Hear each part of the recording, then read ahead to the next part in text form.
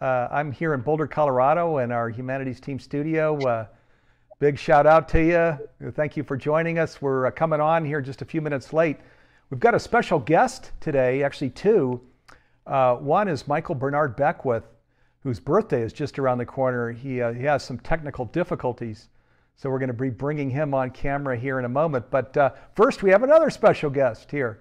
Uh, Noah, uh, Tim, Tim uh, Noe, who goes by Noah, he's uh, my special guest as we get started. Hey, Noah, how are hey, you?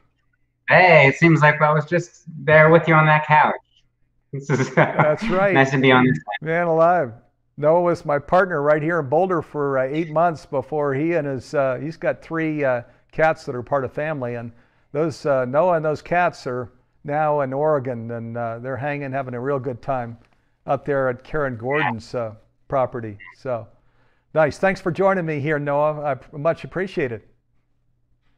Thank you for having me. I'm in, I'm uh, enthused to be a preamble to Michael today with his birthday coming up, and we have beautiful clips uh, picked out for him and his teachings, which I know you will yes, expand we, upon. Absolutely, yeah. We have a fantastic program with Michael Bernard Beckwith. He's uh, he was at Agape, and he was going to come in live from Agape uh, his home is about two blocks away. His internet went down, so he's uh, driving over to his home. He'll be coming on shortly.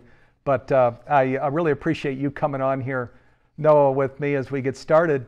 Uh, and let me just, uh, as we're shouting out to streamers, so people that are part of Humanities Stream Plus and Humanities.team, people on the Humanities Team Facebook uh, communities, the Sign Network, all of those Facebook uh, uh, properties, and then Michael Bernard Beckwith's property, Agape, and his own uh, personal site. I think we're broadcasting to all of those sites. So big shout out to all of you. Thank you for being here with uh, us as we get started. Um, also, as we do each week, we're uh, I can see your comments as you're on as you're there sharing on Facebook. So any comments that you want to get to during the program, just put them in the chat and uh, Noah and I, and then later Michael and I will get to your comments here throughout the program, as many as we can. So, a shout out to all of you. Thank you for being here with us. We appreciate it. And of course, uh, this program is brought to you by Humanities Team. We're a global nonprofit. Uh, our whole focus is on supporting people on their conscious journey, creating planetary awakening, and manifesting flourishing at every level of life. Uh, so we're, uh, we're, we're real glad to be here with you today. Noah, uh, I was thinking we could talk a little bit about this initiative that we've got going right now, focusing on conscious business worldwide, uh, which is an exciting program, isn't it? It sure is, Steve. I think uh, we'll need to pop out a bottle of kombucha perhaps to get this conversation rolling. yeah, absolutely. Absolutely. So kombucha, something healthy. Yeah. So, gosh, let me share here as Noah and I are kind of opening up this topic. When you Google, if you go and Google today, conscious business, go go Google it, and then on your screen you'll have, of course, you know, 10 or 12 things that'll open up on the first screen. There are multiple screens, but uh, what you're going to see is business that is in fact more healthy. Uh, it uh, it's it's business that is going in the direction of being more ethical, more moral.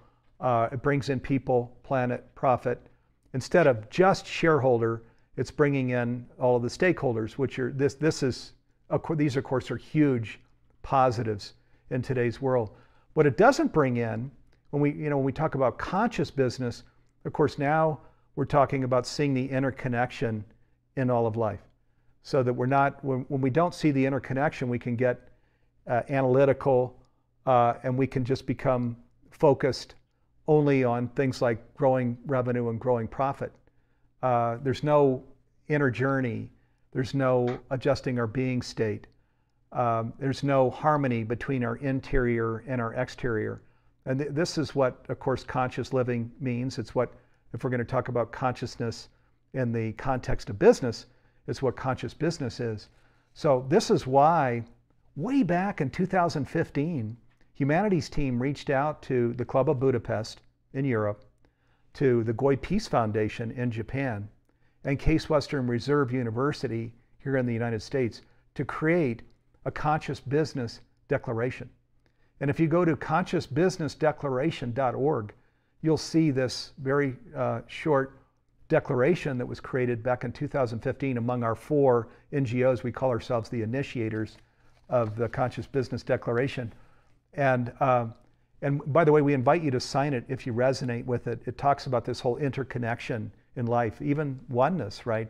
There's a oneness, as uh, Michael uh, Beckwith likes to say, we're all emanations of the divine, right? So it brings in oneness, it brings in interconnection, it brings in the interior, all of these things. Now, Humanities team then went one step further and created something called a Conscious Business Change Agent Masterclass Intensive. It's a six month program to train coaches, trainers, and entrepreneurs, entrepreneurs, or anybody that has a job in how to launch a conscious business or how to change a business so that it becomes conscious. And this is a campaign that's going on right now, uh, this Conscious Business Change Agent program. And if you go to our Humanities Team website, uh, and you'll see under the free programs, if you just scroll down, you'll see this whole program. It's an hour long program that we created with Ken Wilber, with Michael Beckwith, uh, and other many other leaders uh, who were all faculty in this Conscious Business Change Agent program. And they're talking about this uh, six month masterclass intensive. So, and it, uh, there's a free 60 minute program you can watch Again, Michael is part of it, uh, Ken Wilber is part of it, where, where we all are talking about this whole framework of making business truly conscious. So, uh, Noah, it's, uh, it's an exciting program. All of us are, are enthused in humanities team about it. Uh. Yes, and, and like you said, Steve, just to reiterate, Michael is part of the, th- the free program, which you just put in name and email and you can watch. And he shares just a beautiful vision of business and how it operates and how uh, in the free series, Michael shares that rather than starting a business and then forming a mission, this whole concept of having a mission, being driven by a mission, by a calling, and forming a business around here. And there's all these little golden, just gemstones, golden nuggets and gemstones in this webinar just to make our own, just to shift our own perspective of what business is and how we can interact and navigate these businesses in, in, a, in a way that's substantial, that we're shifting our paradigm and all that are all the all of those that surround us. Exactly. Yeah, and it's called Take Your Place at the Leading Edge of Business, Conscious Business Practices that uh, advance your reach and impact. It's this is the name of the series. It's running right now, and on the I think we just put the web address there on the screen, and just invite you to uh, check it out again, even if you just have a job and you're not a coach or trainer or consultant, entrepreneur or entrepreneur, I think you'll uh, find this uh, fascinating and, and interesting and important because, uh, and the reason we got into this back in 2015 as a nonprofit is uh, global business is the most important institution on the planet, right? It's not, it used to be the church some years ago. Today, and Michael uh, also shares, it's the most important institution on the planet. And so, if we're driving toward this mission of creating a fully conscious humanity, a fully conscious planet, well, business needs to come in. We need to create fully conscious business. So that's what this conscious business change agent program is about. And fortunately, in business, boy, you always want to be out front. You don't, never want to be the laggard, right? You know, where you're you're just kind of stuck in the old dinosaur things. in, in business, you want to be out front with what's new. And this is, this is the big new emerging trend where we're conscious ourselves and where we create a culture within the organization that's conscious and we market in a conscious way. And there's so much more. There's, uh, there's a lot that's involved. Noah, what are, what are some of the things that are fascinating to you about, uh, about the series? Oh, well, there's a lot. And I'd say that it's, it's, it's rooted in conscious business, but really it's applicable just in any sector, in the public sector, the nonprofit sector, just in family life in general. It's it's a it's a way of perceiving just interaction and and our relationship with people as we're as we're working in a in a professional way. So uh, you know, working in team settings, for example, in the webinar, the free webinar, there's there's just beautiful uh, tidbits of how to. Sorry, this is my cat just wants to make an appearance.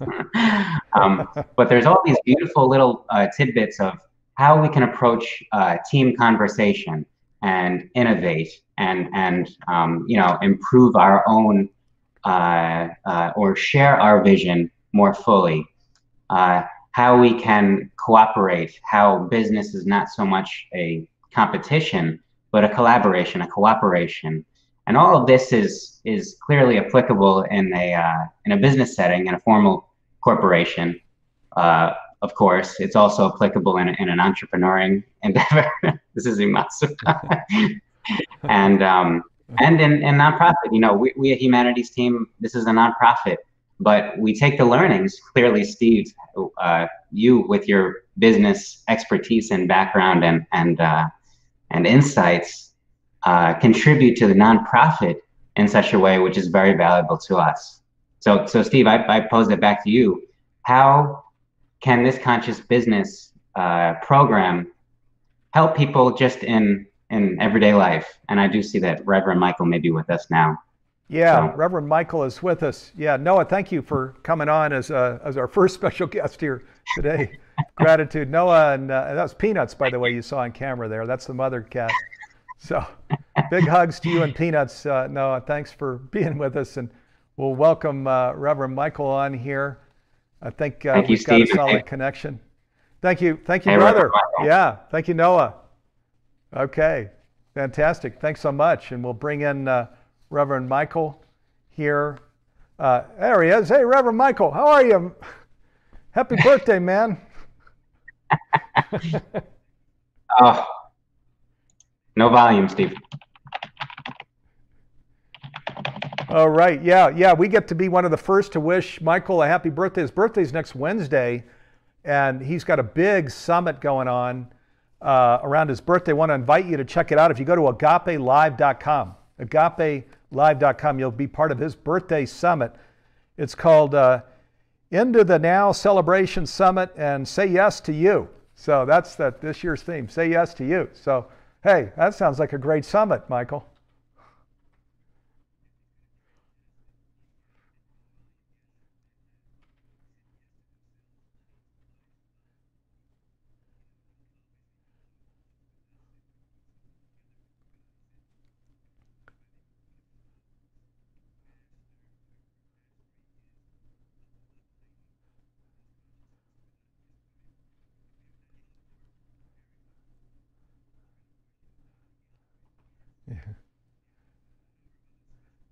Proctor, Sadhguru, and a number of other individuals. So it's going to be a moment in which we are exploring the theme of saying yes to you. I mean, basically, you have to give permission to yourself. You're the only one that can give yourself permission to say yes to yourself. You can't you can't ask permission from the world. You can't ask the world to bend itself towards you.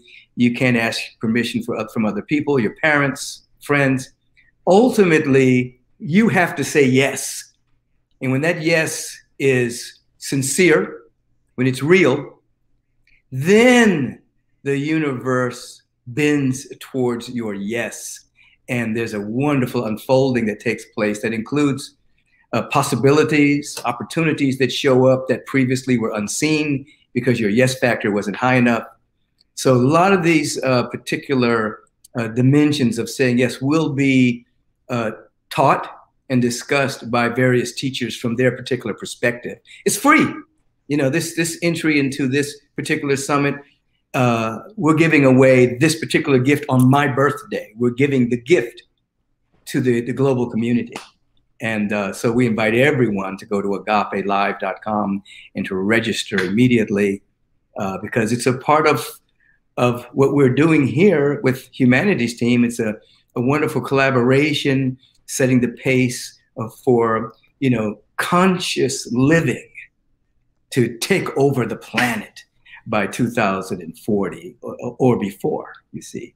So uh, thank you, thank you, Steve, for wishing me a happy birthday, thank you for bringing up the summit. Absolutely. Hey, oh man, our pleasure, and uh, thanks for being here. We're live, everybody. So. Uh, Reverend Michael is coming to you from his home now in uh, Southern California. I'm in Boulder, Colorado at the Humanities Team studio. And uh, so when you go live, that means you're going to have some technical challenges sometimes. But hey, here we are, excited to be here. We've got a lot of ground to cover. Let me uh, just share. Um, well, actually, first let me let me give Michael a proper introduction here. Okay, so let me let me just give uh, Michael a quick introduction. Michael Beckwith is one of today's most prolific spiritual leaders.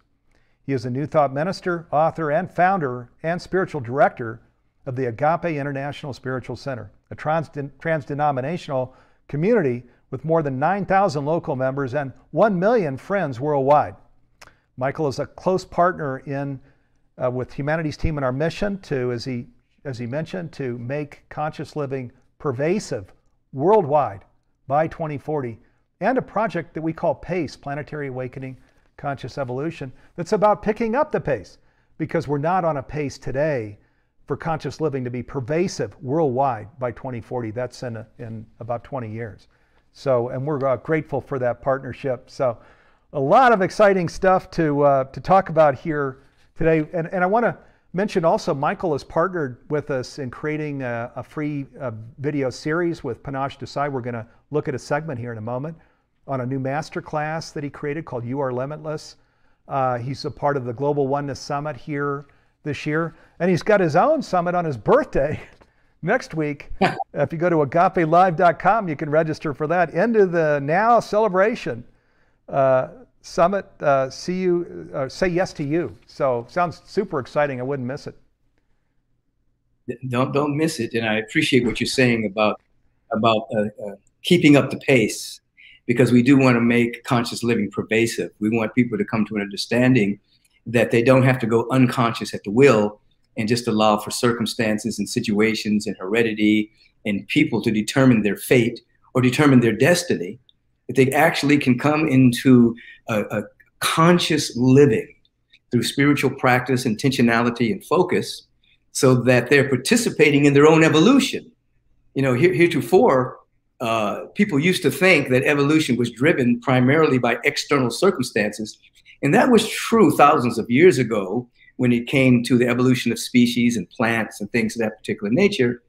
But at this stage of our evolution, we're at the, the apex of one stage of evolution uh, and, the, and the ending of another stage of evolution. Now we're into conscious evolution, which means that humanity can actually change, an individual can actually change their life in one lifetime. There used to be a pervasive thought that you needed many incarnations to be on the wheel of reincarnation over and over and over again until you got it right. And that was thousands of years ago when the density of the consciousness was very thick and the earth wasn't as conscious as it is now. But now we're at a point where an individual can actually change their life for the better using one lifetime. If they're conscious, if they're available, if they're receptive, if they have sincerity, if they have focus. So we want to keep up the pace that individuals are actually choosing to live consciously across the board with the, with the, how we deal with our environment, how we deal with the environment of our body temple, how we deal with our, the environment of our emotional body, our mental body, how we deal with the our relationships, how we deal with you know our day-to-day activities. We want to be conscious and put ourselves in a position to actually participate in our own evolution.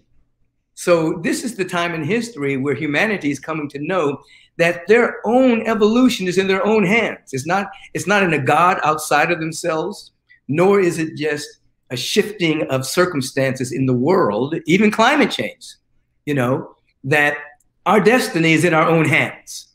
And, and everyone has a good destiny, but we have to have a, some level of conscious participation and focus in order to act, discover, activate, and ultimately express it.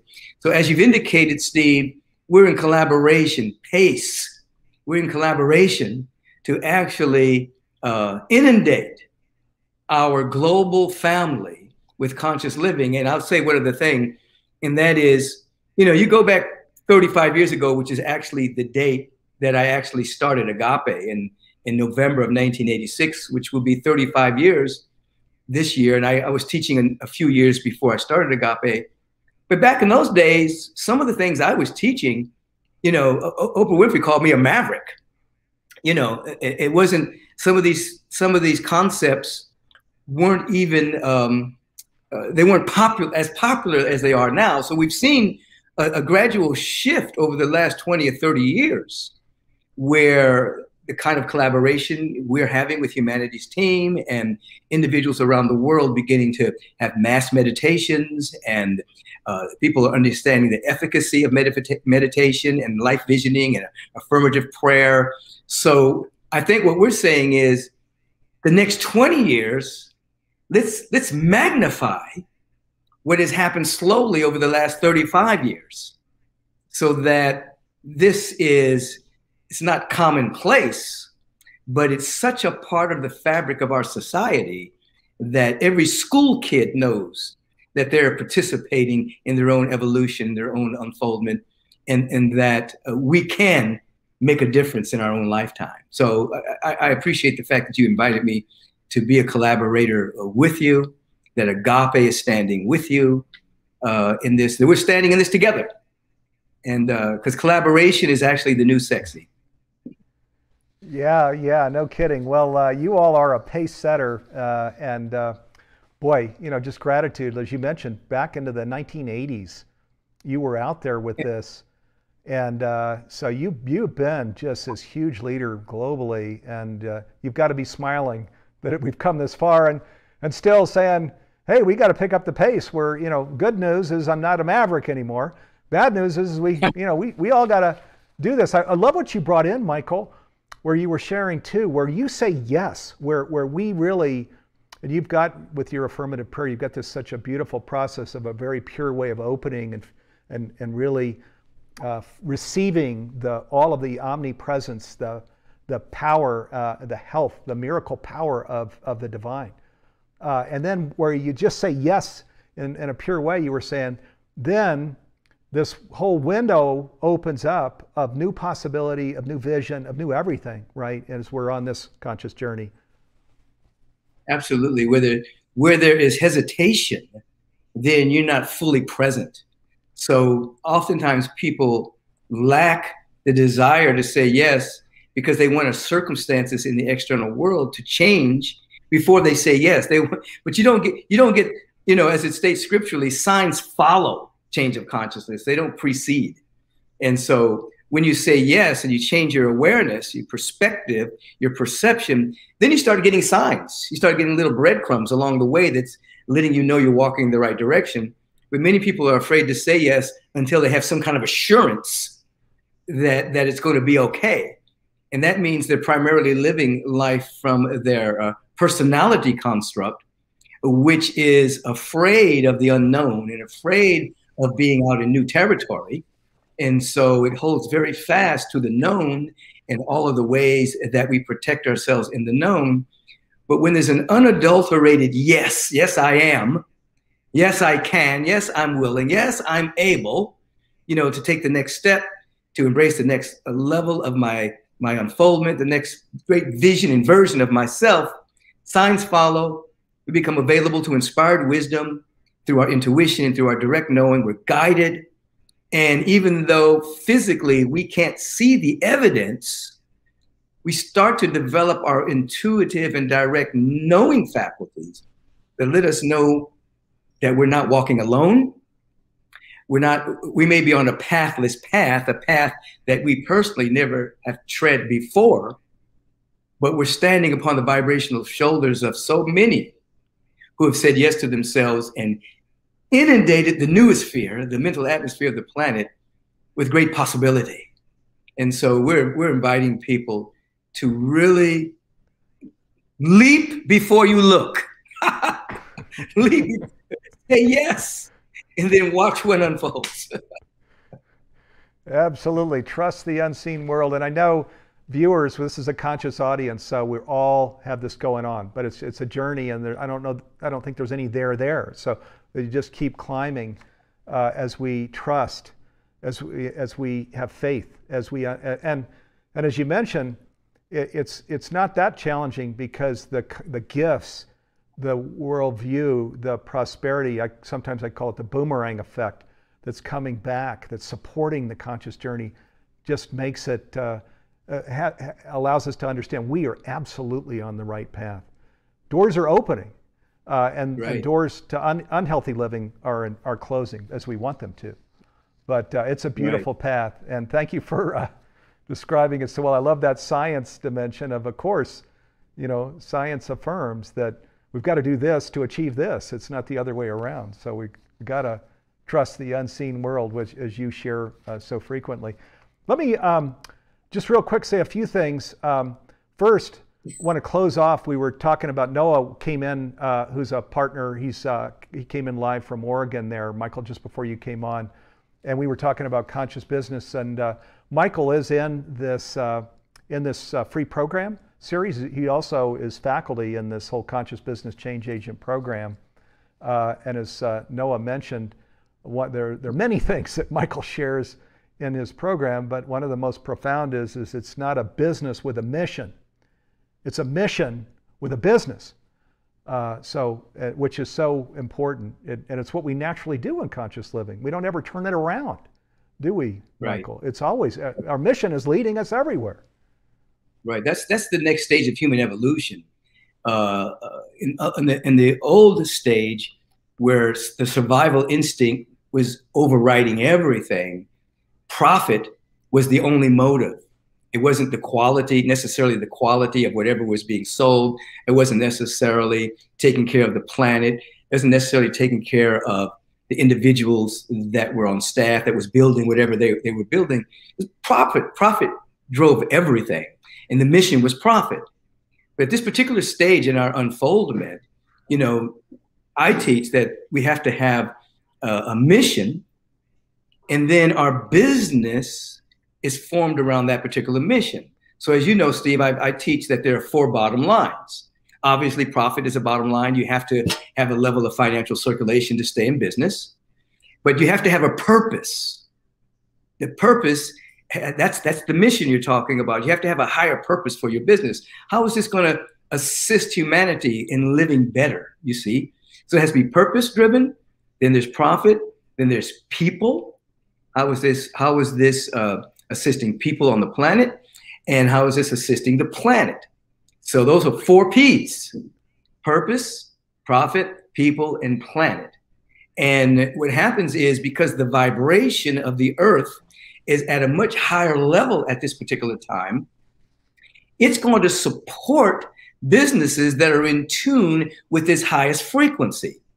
It's not going to necessarily support individuals that are just going out just to make money. It's going to it's to support individuals who are in the course of making money, are serving the planet, serving the people, and are living with a higher purpose. So, you know, one of so so I, I, try to bring that into focus for our our entrepreneurial individuals, and and in that same teaching, I'll also mention that there's success 1.0, success 2.0, success 3.0. Success 1.0 is you know I get rich, period. End of story.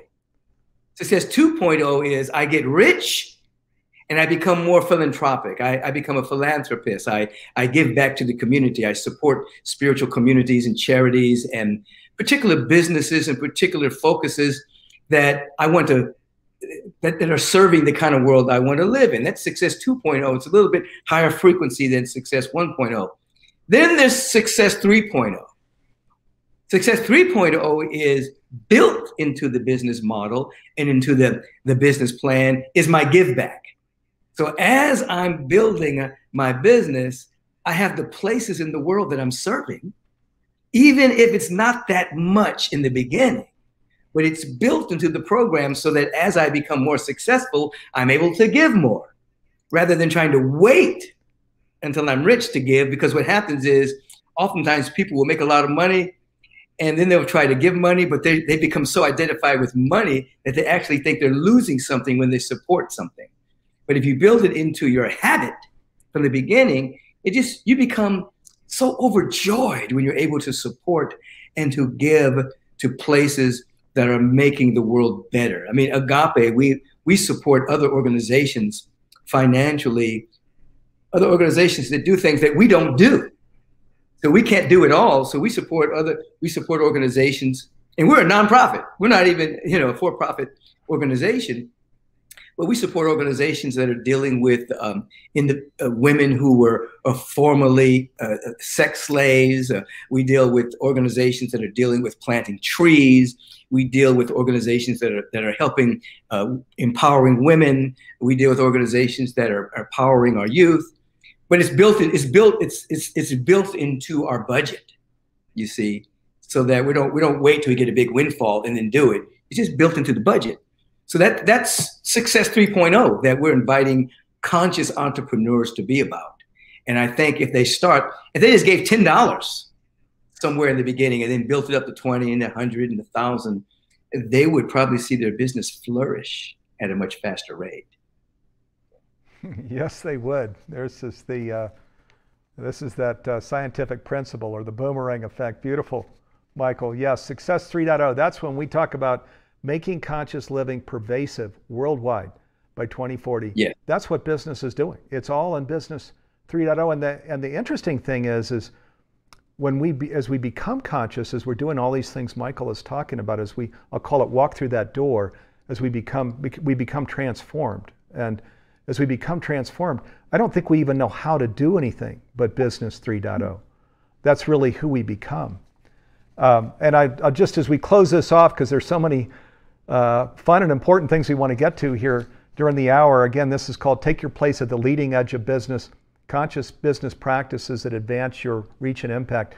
And uh, I think we're going to, we're, we've been putting on the display a link to take that uh, hour long program. Michael is a part of it.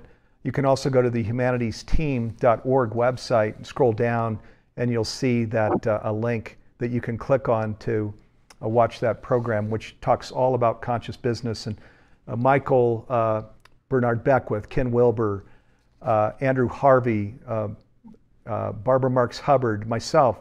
there, there are many people that are talking about conscious business during that program. So let me um, segue to some other things I want to share. There are people that are shouting out to Michael here for his birthday. Vance is coming in and saying, Hey, happy birthday, Michael. And he's saying, uh, leap, leap, uh, leap the love, leap. okay, so be the be cause. So you've got a friend there, Vance, shouting out to you, Michael. Joe, uh, Cami is saying it's exciting to hear more about this whole conscious business thing, and she's saying she's a part of a uh, of a B Corp, which is fantastic. Joe, thanks for writing in, and then Patricia Wagner's writing in uh, and saying uh, conscious business, purpose, profit, people, planet. Thank you, Michael. So, uh, hey, thank you all for shouting out to us. We'll get to your comments here during the hour. I want to page over to, I mentioned at the beginning, Michael and Panache Desai created uh, programs with Humanity's Team. They created a free program called uh, uh Living a Masterful Life. Uh, and, and Michael has a 60 minute segment, and then their Panache Desai has a 60 minute segment. We're going to cut away right now to a two and a half minute segment and then Michael and I will come back and talk about it.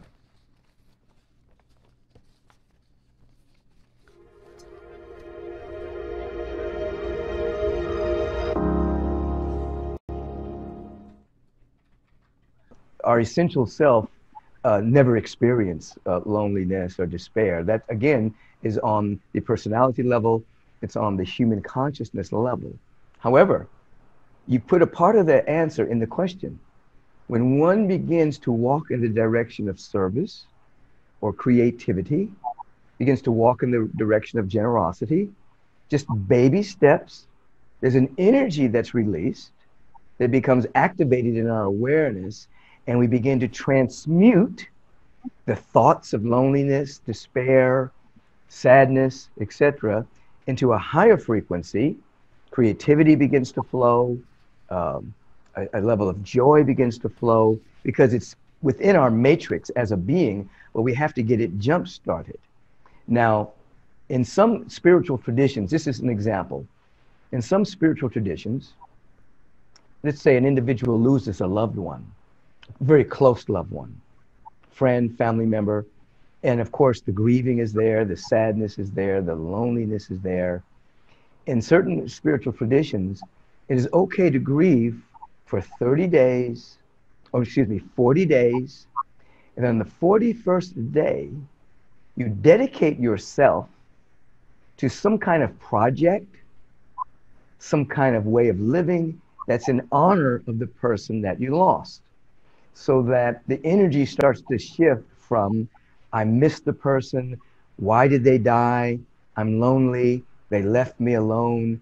I'm in despair. To, what can I now do in their memory to make myself a better individual or to make the world a better place? Now, the moment I begin to do that, the energy shifts and the grieving, sad, loneliness thoughts begin to be redeemed. It's called redemption.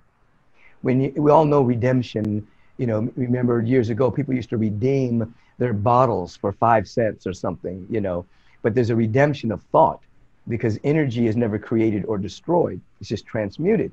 So you're redeeming the thoughts of despair and loneliness and transmuting them to a higher frequency by going into service, by um, dedicating your life to being better, or a project on behalf of that individual. Fantastic. So that's uh, again, that's a video series, "Living a Masterful Life." Michael Beckwith, Panache Desai, Humanity's team created that. We're going to put a link in the window, and also if you go to humanitiesteam.org, up at the top left, you'll see master a master class uh, on the navigation, and just pull down the free courses. You come down to the sixth program, and that's "Living a Masterful Life." It's uh, you can register for free there to go through that uh, really fantastic program that Michael and Panache Desai created. Um, that was, uh, I, I, love what you shared in that clip, Michael. Uh, boy, because there's so much uh, in today's world, even there's just a lot of grieving, a lot of sadness. People are leaving jobs, you know, and you're talking about how to turn that around. Absolutely. What happens is people operate, uh, they, they, they, deal with that kind of stress uh, two different ways. One, an individual can become depressed where the energy is going in and there's sullenness and then there's a constant rumination of the thought forms of lack or loss or scarcity or sadness. It's just a, a constant, what is called mentation, a constant reliving the same thoughts over and over and over again. And then there's um, frantic activity where individuals are very outwardly bound, running from those feelings. So they'll do a lot of things and, and try to get something exogenous, something outside of themselves to keep them from feeling those things, whether it's alcohol, whether it's overeating, whether it's over busyness, etc. And so individuals opt, opt between one of those two things. And what what you just showed was me sharing that instead of allowing the energy to become depressed if somebody dies in that particular example, you, you're able to be in that for 40 days and then the 41st day, you find it instead of a depression, an expression, but an expression with meaning. It's not just being out there in busyness with hanging out with people and, and trying not to be lonely because everyone knows you can be lonely in a crowd. It's actually dedicating a project, some level of service. You know, I was thinking about um, a, a Lee Brown who, who, who's here. And she, I remember one time she shared with me that when her mother passed at a very young age, and her mother was a very beautiful altruistic being, she started working at a, a soup kitchen in honor of her mother, because that was um, that was not only keeping her mother's memory alive, but it was a different energy of being able to participate uh, with the grief to actually transmute the energy, and so um, that that's a way of turning the depression into expression. Another way is instead of running out and being busy or having a loop of the sad thoughts.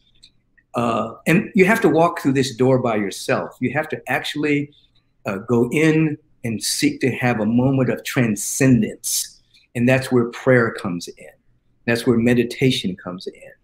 And that's where life visioning comes in, where you actually are becoming more identified with the aspect of you that's not suffering loss. Now, we don't we're not uh, it's you know covering up the fact that something bad has happened you know according to the personality construct but we're opening ourselves up to make contact or have an encounter with the transcendent and even on a broader scale what you're talking about in terms of pace in terms of making conscious living you know inundating the society with that, we both know that every problem is mental or emotional or physical, but every single solution is spiritual.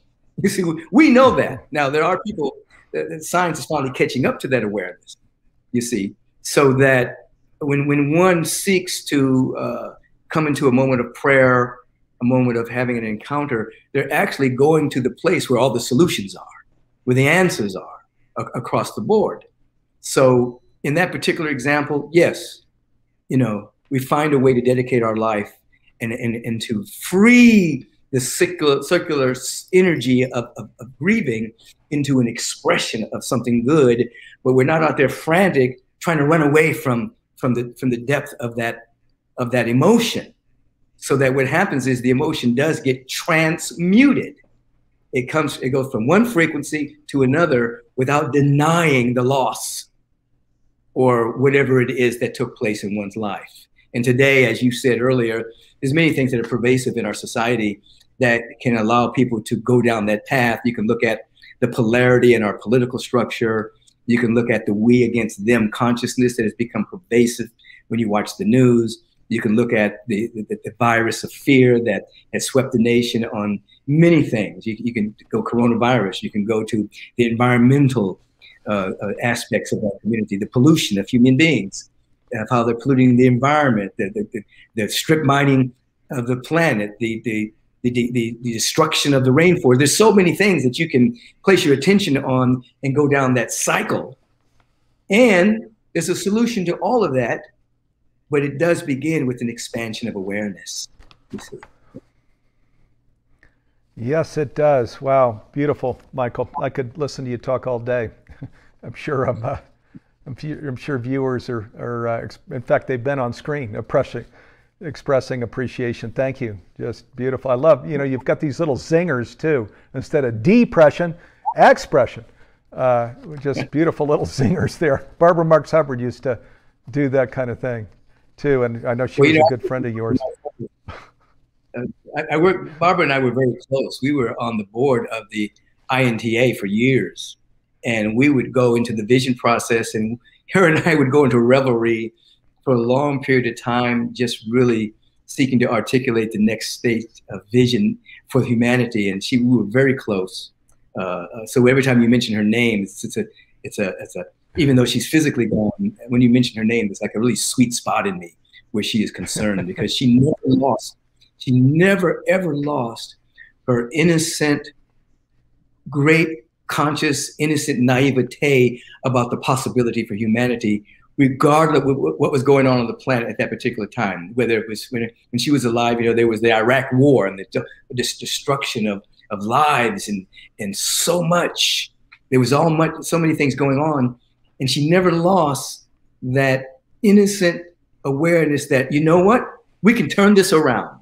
We can actually be captured by a vision. We can actually uh, uh, change it and one thing we agreed upon was the fact that if we could shine a, if we could have a big enough mirror for us to look in and see all the good that was happening on the planet, you know, it would radically shift the consciousness of the planet.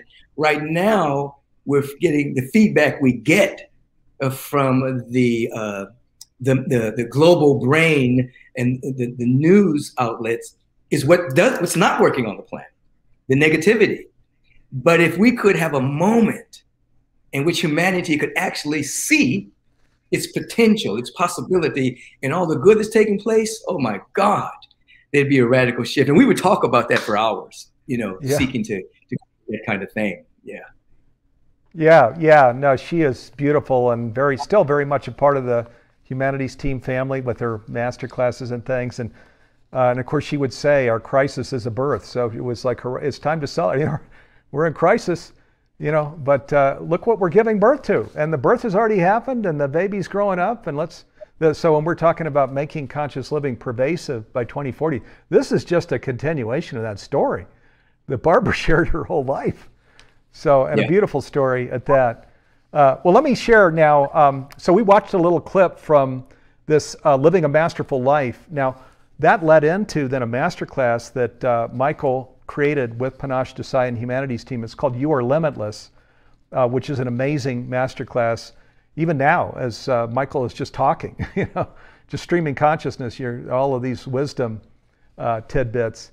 And his, this master class is filled with wisdom from both Michael and Panache. We're going to go to a segment that's about five minutes, and we're going to come back and talk, talk a little bit about it here.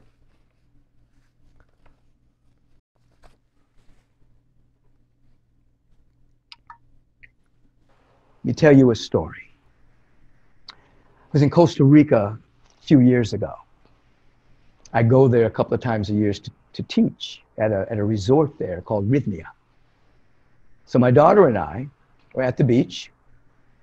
We were the matter of fact, we were the only ones on the beach. There was no one else on the beach but us two. So I went swimming into the ocean. I love to go swimming, particularly outside of the United States, because the water is generally more refreshing and uh, less polluted than it is in the States. Unbeknownst to me, I drifted out extremely far. And when I turned around, my daughter was like a little ant on the beach. That didn't bother me because I'm a great swimmer. But when I started to swim inward, I was caught in a riptide. I couldn't get in. And so I know that when you're in a riptide, you kind of swim to the side in order to get out of the riptide. But in Costa Rica, there was like two opposing riptides. And so when I started to swim to the side, I was still caught in a riptide. So I couldn't move.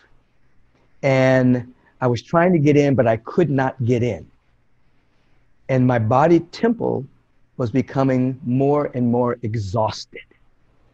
I was becoming tired. And I can remember my daughter being very intuit, intuitive knew something was wrong because she saw me trying to get in and I couldn't get in. There was nothing that she could do because there was no one on the beach to assist. So I can remember going underwater a couple of times, gagging a little bit, swallowing water, and then bobbling back up, treading water, trying to get in. And I pick up a lot of information through dreams, a lot of a prophecy through dreams. So I scan my mind to see did I have a dream of death? Did I have a dream that this could possibly be my last day on the planet? And as I scanned my mind, I, I didn't have such a dream. I didn't, this was not my last day. And as I went under one time, I remember thinking, if I don't make it in, there's going to be a lot of upset people in my life. I, I better get in. I, I remember thinking that. Um, but I, I understand I, it's difficult to convey how tired the body was. I was exhausted. Okay. And so when I popped up, first thing I did, once I popped up for this last time and started breathing, I programmed my mind. I said to my mind, regardless of how tired the body gets, do not give up. I did a program. Regardless of how tired the body gets, do not give up. Keep going. Keep going. Keep going. I programmed the mind. And then what came out of my mouth was help. Now, the first help was not conscious. It just came out of my mouth. I just noticed that something in me said, help. Now, there was no one out there to help me. I said, help. And then once that came out of my mouth, I embraced that. And I began to say, help. I said to, I said, I need some help here. I need some help here. I need some help. I programmed the mind and I said, I need some help as I'm treading water, a wave comes in that gives me a little momentum. Second wave comes in, gives me more momentum. Another moment later, a third wave comes in, gives me more momentum. Now I have momentum. I'm exhausted. But the mind was programmed. Regardless of how tired the body gets, keep going. So in my exhaustion, I'm going. My mind is programmed regardless of how tired the body gets. Keep going, keep going. I need some help here. I'm available to help. I'm available for help. Keep going, keep going. I'm available for help. I'm available for help. Then after what seemed like a long period of time, I start to get in, and there was a moment where I could, my feet touched the sand underneath. And then I kept going and kept going. Finally, I was on the beach. I collapsed on the beach. I turned on my back. My heart was beating extremely fast. I was breathing, but I felt so good that I survived that particular encounter.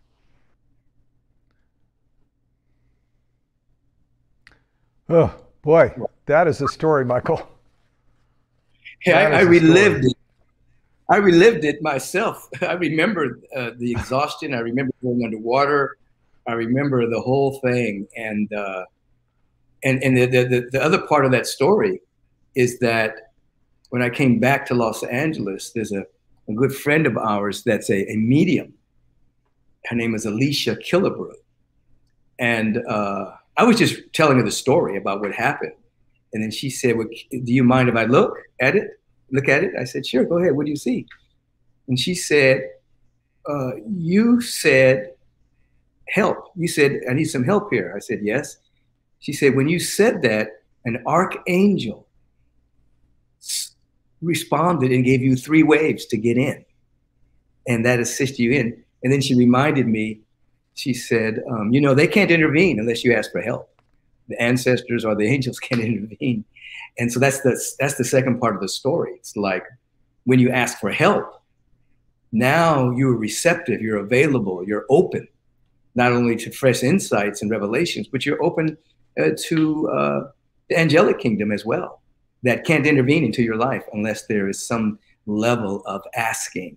Not it's not beseeching a reluctant deity. It's just being available. And you know what came out of my mouth was a help, and then it was I need some help here, and uh, and that's definitely a, a, part of my spiritual practice. I, I, I I pray, I affirm the truth, and I ask for help. I ask for help to complete my assignment of the day. I ask for help, and and come in, in, in league with the great assistance that's everywhere for the asking. Ask, and you shall receive. You see, so that's that that, that that uh, that story, I relived it all again just watching myself. Yeah, such an important um, story, and and thank you for bringing that in. And when we, and of course, you share we're all emanations of the divine, which which we are. We're there's there is one presence. The scientists call it the Big Bang. Uh, spirituality calls it something different. We're we're talking about the same thing, but but uh, what you're bringing in is that, it, and we we actually came into this earlier too. It's not just the visible world. In the invisible world, there's resources everywhere angels, archangels, the divine herself, uh, on and on. And, uh, uh, and that those resources are here to offer assistance if we believe in them and call on them and believe that they're, they're responding as they do. So, uh, such an important thing to bring in here. Yeah, especially now when I think a lot of people need help. And, and we can ask for help. And most of the most of the goodies are in the invisible, the realm of the invisible. In the invisible is infinite possibility, uh, infinite opportunities. I mean, the, the presence itself, by whatever name you want to call the presence, I, I, I sometimes say the presence that's never an absence is invisible, and uh, you can see the evidence of the presence, but the presence is timeless and formless, and and then and then ideas and inspirations are timeless and formless. When a composer uh, catches music from the spheres, that's invisible, timeless, and inaudible, but they catch it. You know, Beethoven, who was deaf, never heard a note in his life, would catch the invisible, inaudible music of the spheres and do complete symphonies. So when we talk about the realm of the invisible, we're talking about where the real stuff is. And then it becomes visible, it condenses itself as experience, it condenses itself as form and things of that particular nature. But we really want individuals to know to have a relationship with the invisible. And that's why mystics for centuries have prayed and meditated because they knew going into the realm of the invisible was very potent and more potent than what you can taste and touch and see and smell and hear. It's the spiritual faculty of seeing the invisible and hearing the inaudible that allows for even the next stage of our own unfoldment to happen. Pretty much all the great inventions, great music, great choreography, great architecture has come from somebody having an insight beyond time and space. and catching something and then bringing it back. That's and, and, that's what a shaman does, goes into the infinite and brings it back for the community. So we're if we're going to be conscious living, we're inviting ourselves to be urban shaman if we live in urban conditions, to actually practice going into the realm of the invisible and then coming back with fresh insight, fresh revelation, fresh inspiration, and bring it in, bring it, bring it to earth. The figuring out mind uh, is not as valuable as the part of us that can go into the realm of the invisible and catch insight. And you know, most people forget. You know, they'll, they'll speak about Albert Einstein's intellect, but they forget that the E equal MC squared formula came from a lucid dream that he had when he was out of time and space, and he caught this this relativity as he was writing something and then when he woke up, he brought it back into this space and began to work on it. It wasn't that he was figuring out with his intellect equal MC squared, even though he figured he thought there was a unified field. It was the dream state and the transcendent state that allowed him to catch it. Same is true for George Washington Carver. People think of him as the man who dissected the peanut and brought about all these healing modalities from the peanut and from plants and from the clay and the ground. But people, many people don't realize that he was one of the greatest mystics to walk the planet. He would wake up at four o'clock in the morning and meditate, and then Mother Nature would share with him her secrets. And one of the things he said is if you fall in love with something deep enough, it will reveal its secrets to you. And he would fall in love with the plant, he'd fall in love with the soil, he would fall in love with the peanut and then it would share the efficacy of its nature. Then he would go into his laboratory and prove it. It wasn't the other way around. It wasn't, I'm going to go into the laboratory and figure out the, the nature of the peanut. It was revealed to him in meditation. And then he proved it in the laboratory.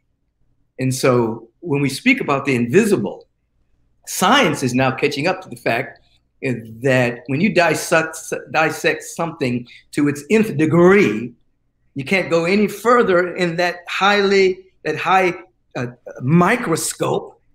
You discover there's nothing there but an energetic pattern of information that's invisible but real. That energetic pattern, we all are an energetic pattern of infinite potential, unique expressions of the infinite. There's an energetic pattern in an avocado seed that contains the avocado tree. There's an energetic pattern in an acorn. I mean, old science would take the acorn and dissect it and look inside of it and tell me its constituent parts. But it would kill the oak tree in the process. Inside of that acorn, there is an oak tree. The energetic pattern exists. What do we do? We plant it in the right conditions. And then the oak tree, the, the roots, and then the shoots and then ultimately, there's an oak tree there, you see. And so science is finally catching up to the fact that in this quantum field, and there are original ideas and energetic patterns that when the condition is right, they will emerge. They will emerge. So the invisible yes, they is, will. yeah, yeah, no, uh, so true. And and this whole we talk about making conscious living pervasive worldwide by 2040 and picking up the pace. It is happening already. Uh, and uh, boy, you're bringing in just such beautiful wisdom here that uh, since the mid 1980s you've been out in the world. First as a maverick, and now it's getting mainstreamed. So, uh, hooray, Michael. Let me share. So, this program this that, that was created again, it was Michael Panache Desai Humanity's team created this program called You Are Limitless. And it's part of the Humanity Stream Plus platform. So uh, this mission to make make conscious living pervasive worldwide by 2040, and then pace, picking up the pace, planetary awakening and conscious evolution. Uh, the, the Humanity Stream Plus actually ties to that. This is this platform that we created that You Are Limitless is on. So uh, this Humanity Stream Plus platform, it, it is the strategy that's delivering on the mission. Uh, it's a big mission, a big lift to say that by 2040, in 19 years, conscious living is going to be pervasive worldwide. Now, how is that going to happen? And it's going to happen by leaders all over the world, Michael uh, and, and uh, many others, humanity's team, you, viewers. It's probably why you're here with us today. You're part of that. But uh, what Humanities Stream Plus is this intuitive graphical interface that uh, we've got a picture of it there on the screen. We're going to also give you a web address so you can go see it. It's groundbreaking because in the transformational education industry, everybody's using something that is kind of clunky. Uh, it allows you to uh, to download your programs and go from program to program and then even another masterclass. But it's challenging to get around. This platform that we're using was, is groundbreaking. There's not anything else like it in the industry. It's like when you're streaming movies, uh, this would be like Netflix or Amazon Prime. It's that easy, the interface you can see if each of these master classes, one of those that we just passed was You Are Limitless. Now, if you clicked on that, you are, there it is right there. You are limitless. You see Michael's face and Panache's. Now, when you click on that, all of the modules then become visible with a little synopsis of each module.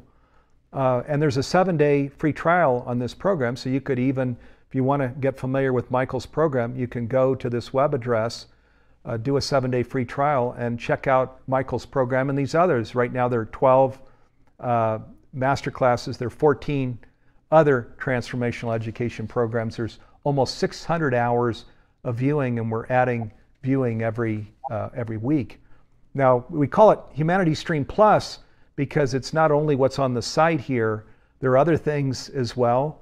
Uh, there's live mentoring as these new programs are launched. You're invited to all of the live mentoring programs. Uh, just around the corner, there's one with Katherine Woodward Thomas and Dr. Laura Berman. This is the next one coming up, and then a another program after that with uh, Nassim Haramein and Gregg Braden.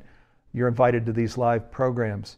There's a, a free completion certificate. So if on your resume or CV you want to share you've been through You Are Limitless uh, and have spiritual training, you can share that. There's a completion certificate you get when you complete the program. All of the programs have a free completion certificate. Global Oneness Summit gets bigger each year. Uh, this year it's nine days. Michael and Panache Desai are on a panel. Um, there are a lot of people like to buy the upgrade that's $197. Uh, that includes a free viewing of all of the of the Global Oneness Summit.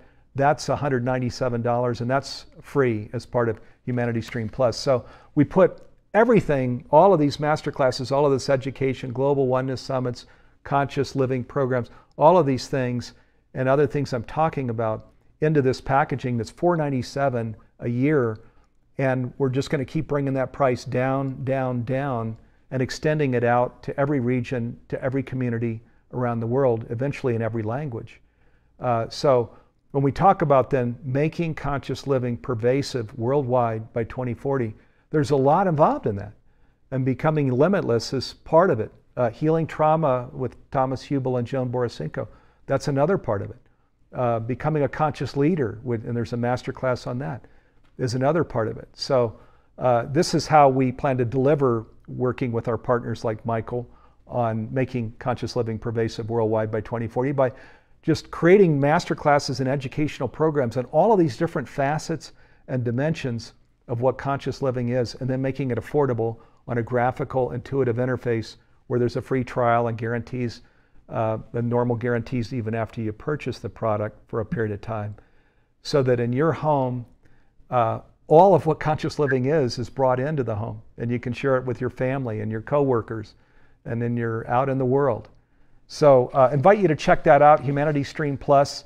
Uh, check out the You Are Limitless program that Michael and Panache created. It's astounding uh, you'll uh, with a seven-day free trial, you could really get in and and uh, see a lot of what is inside there.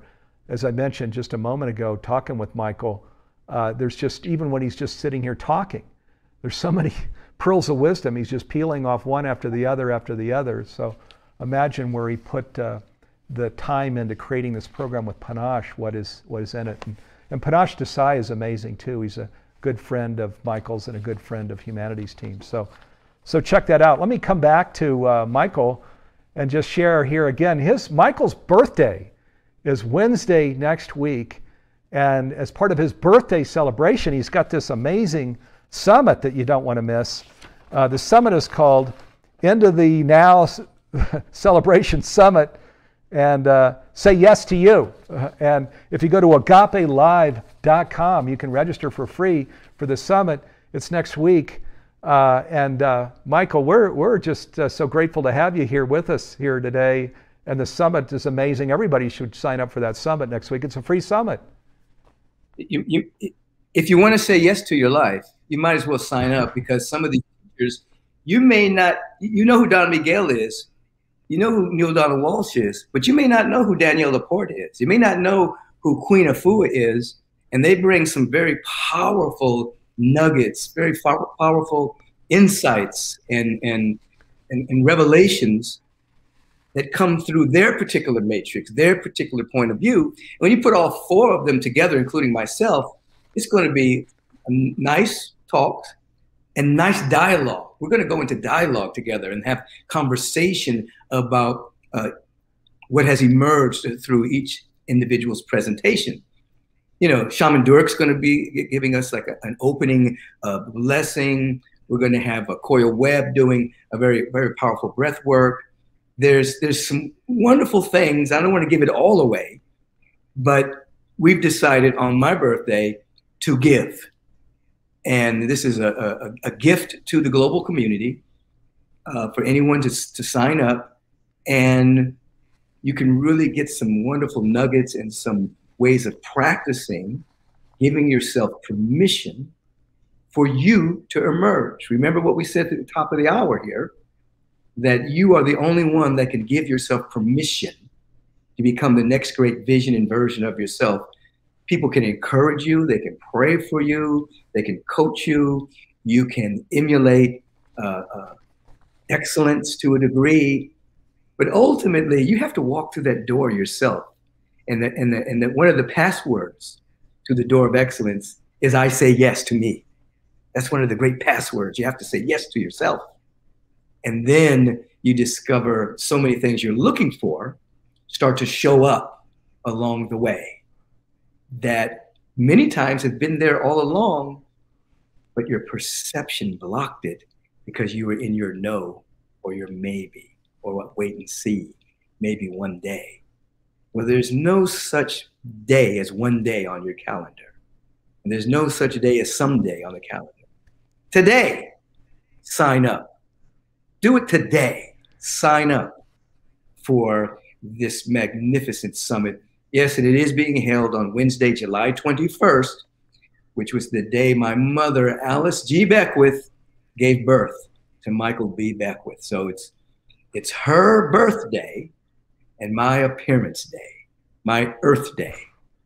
And uh, so we're celebrating the community, uh, board of trustees, and everybody, the staff, and the special team that's put together has, has done a fantastic job of, of, of curating teachers, of, of, so much that goes in. As you know, Steve, goes into goes so much goes into what we're doing right here and right now.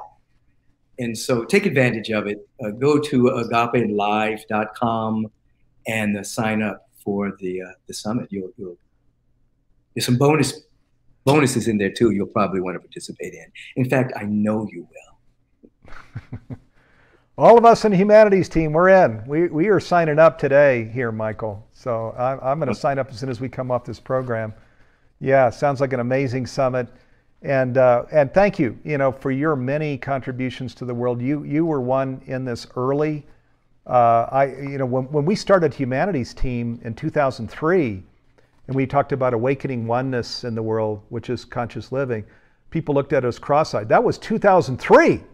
So in 1987, I can promise you, when Michael was out with these conscious living concepts, this was not easy. So, you know, he is a true pace setter. When we talk about our mission to make conscious living pervasive worldwide by 2040, Michael has been a pace setter out there for decades, and now there are a lot of people running alongside him, and hooray!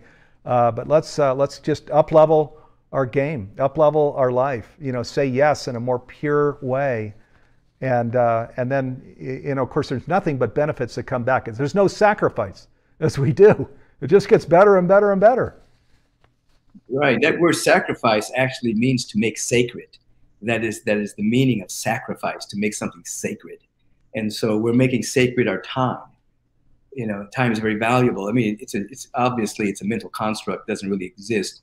But in the terms of a three-dimensional experience, we're sacrificing, we're making our time sacred by participating in in this moment right now in which we're together and uh, when you sign up for the summit, you're, you're, you're giving your time, you're making it sacred for the unfoldment of your own soul. And as you mentioned, you know, back in 1986 and even before, you know, there, there were moments where I was actually hated and reviled, you know, by the traditional churches, uh, saying that I was sending people to hell by telling them that God was within them, you know, and that God could operate through them. Uh, and, and, I'm not saying I'm not saying I was the only one saying that. I'm just saying that in my experience, I was reviled and hated by many people from the from our, our, our traditional brothers and sisters who are also now catching up to the to the awareness that this presence that is everywhere, um, that we're involved in it some way, that our life is an emanation of it. And so I, I don't think that anyone walks unscathed when they make a choice for excellence in their life.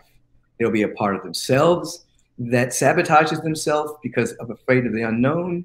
And that might be reflected by individuals in the world who are saying that what you're doing is crazy, what you're doing is impossible, that doesn't make sense, go get a regular job, you know, whatever the case may be.